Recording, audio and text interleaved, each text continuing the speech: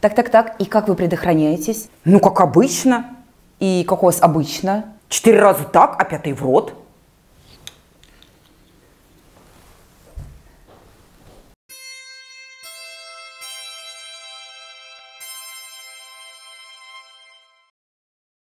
Друзья мои, сейчас у нас в сексологии два тренда. Это сквирт и анал. Чего ж выбрать-то? Какое самое яростное сексуальное действие, чтобы поразить воображение партнерши?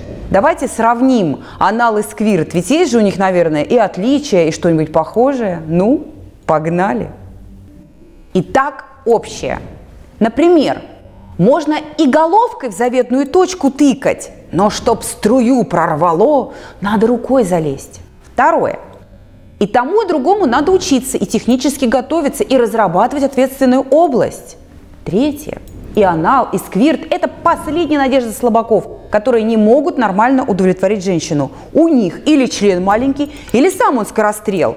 И начинается тут хождение по мукам. Мол, не в головке счастья, мы и пятерней сильны, если так поднажать. И, наконец, последнее – и анал, и сквирт не всем нужны. Вот есть такие люди, которым эти извращения, ну вообще по барабану. Ну, а теперь разное. Находятся они все-таки в разных областях. Что для сквирта кулак, то для анала смерть. Ведь не всегда же он туда помещается-то.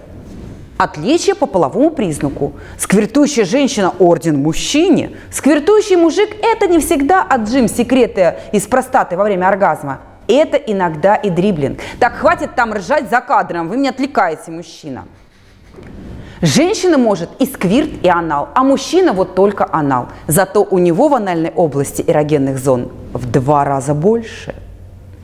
Друзья мои, и та, и другая тема ну, я надеюсь, мастерски описана в моей книге «Браво, пенис». И, кстати, кто знает, а, личное общение с моими подписчиками существует в моем аккаунте Instagram. Посмотрите, какие там замечательные картинки, и на все комментарии абсолютно я отвечаю. Хотите, чтобы я вам ответила? Пишите туда.